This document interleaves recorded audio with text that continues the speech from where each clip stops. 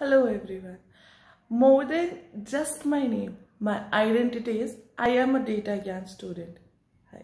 My name is Uniti.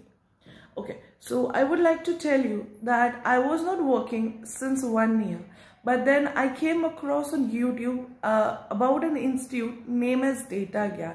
So I was wondering that why is it not advertising and it's so big institute. So then i talked to ranjan sir and then i got to know that they don't need any advertisement. The quality which they are providing is world class i would not just recommend you to get into that institute but i would just force you if i get a chance to make you go in that institute and get taught by ranjan sir.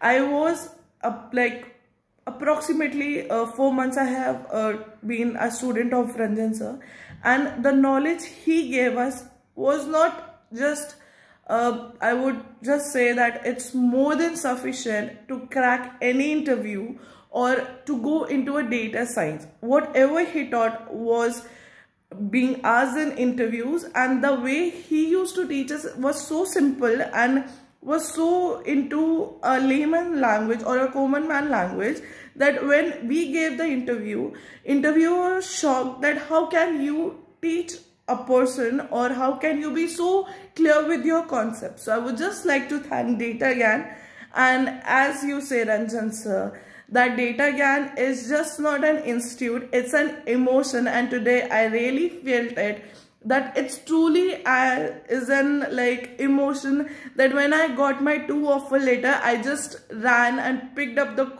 uh, like phone and called you. So that was something like I had someone to talk and to share my happiness.